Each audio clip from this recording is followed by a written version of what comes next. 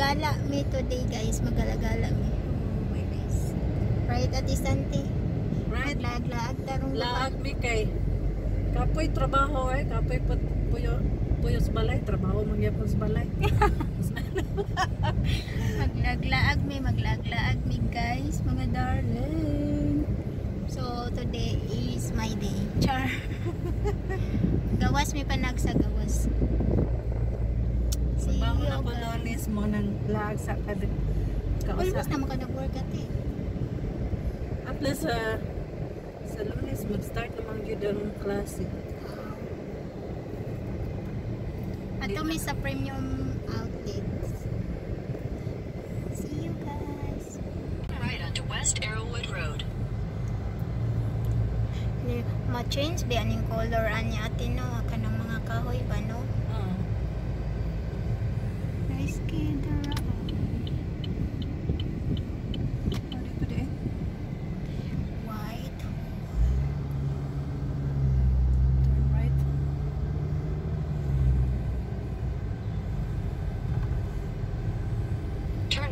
West Arrowwood Road. Ma-stop daw.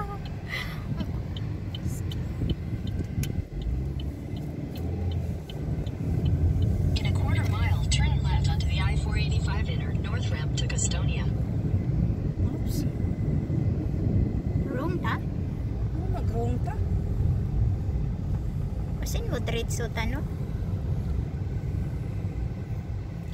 Um, ta pwede dire. kami kay dito mi nag-agi before at o sa Indiretso ka dito? Oh, Diretso? oh, diretso din liko.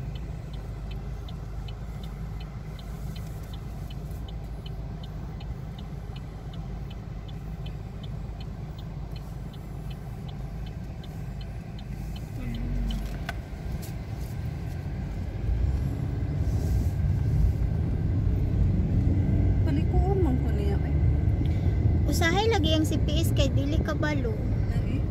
Oh, di kuan mo na sila pero galing lang padung ka sa layo ba? Turn left onto the I-485 inner north Oh, ramp, then merge onto Moana. I-485 inner.